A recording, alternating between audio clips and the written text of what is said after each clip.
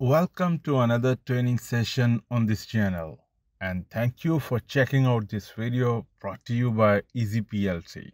In today's session, we will learn what is a PID controller, how does a PID controller works and when we use them. If you like our videos, please make sure to subscribe this channel and press the bell icon for more upcoming video tutorials. It is an acronym that stands for Proportional Integral Derivative Controller. PID controller is an instrument used in the industrial control applications to regulate temperature, flow, pressure, speed and other process variables. For example, if we want to control the temperature at any specific set point, we can achieve this by using a PID controller. PID controllers use a control loop feedback mechanism to control the process variables like temperature in this case. Simply, we will enter a set point temperature in the PID controller and it will read continuously the current temperature from the feedback element. For example, in this case is a thermocouple and it will try to keep the temperature equal to the set point temperature by regulating the power going to the heater.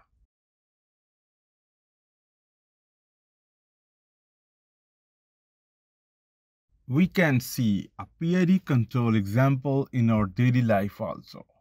While driving a car on the road, we try run the car in the center of the road. When our car moves away from the center of the road in left or right side, we will slightly move the car steering wheel accordingly to keep the car in the center of the road. Coming back on the today's topic, PID controllers have two type of output signal. The first one is the digital on-off output signal and the second one is the analog output signal. Let's see how does a simple PID controller with digital output works. These controllers are great and most commonly used in the industry to control the process.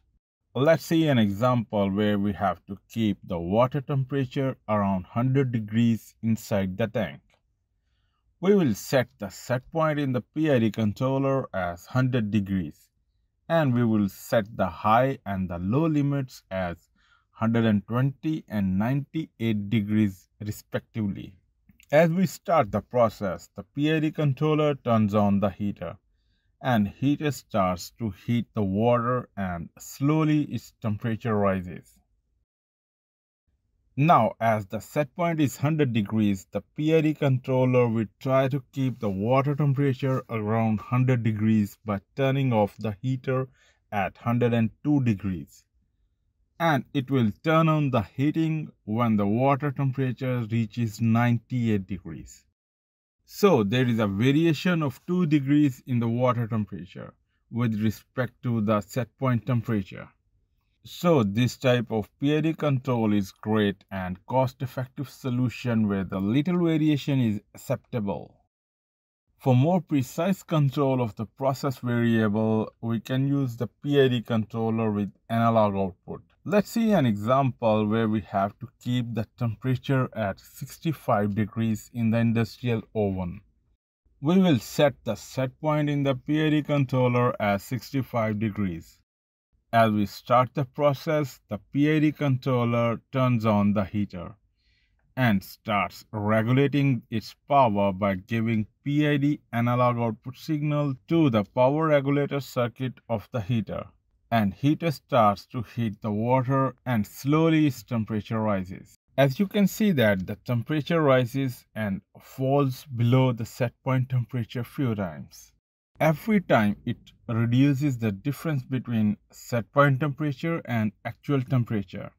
Eventually, the temperature stables at 65 degrees and PID controller is now constantly taking feedback from the thermocouple and regulating the heater power to keep the temperature at 65 degrees.